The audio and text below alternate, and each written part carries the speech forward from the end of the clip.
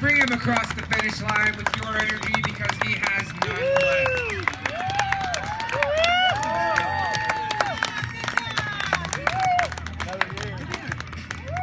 Go Kim.